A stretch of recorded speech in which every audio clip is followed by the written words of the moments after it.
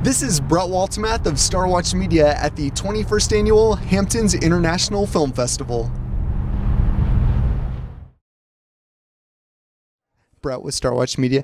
Now, this documentary is actually based off your book, so tell me a little bit just about the process of you discovering the book and deciding to adapt it into a documentary.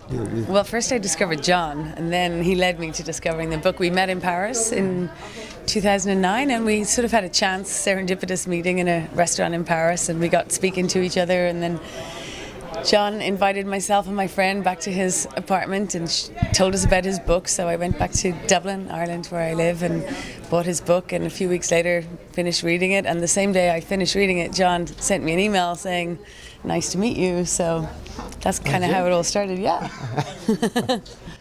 John, what was your reaction when she expressed interest in making it into a documentary based on your life and career? I, I thought she was crazy, but I loved it. I, I, I immediately agreed. Was it kind of different? Was it uh, almost surreal for you to be now in front of the camera instead of behind it? Was that a little bit different for you?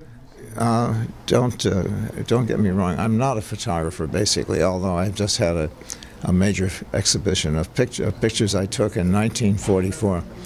Uh, but I was a Hollywood correspondent age 24 for Life magazine, so I've, I've been around movies a long time. Uh, I'll do one last question. What, when you wrote the book, what would you really like people to take away from it? What was your motivation for writing it? That that war is not the answer to uh, to uh, the problems of mankind. It's an anti-war book. It's an anti-war film. And is that what you also were trying to express in the film? Well, I think that's where I realized that John and I had a lot of the same thoughts and feelings about things. So that's where we connected, and that it just came to a natural. It just came out naturally that that's what the crux of the film became about. I'll do one last question. Upcoming projects for you both? Any upcoming films or any upcoming books for you, sir?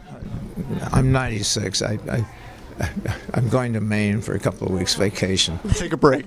Right. And for you, any upcoming films that we can see? Yeah, I'm working at the moment in developing um, another documentary with uh, the writer Naomi Wolf. So um, it's early stages, but we're hoping that that's going to go into production next year. Wonderful. Thank you both so much. Enjoy the screening and the rest of the festival.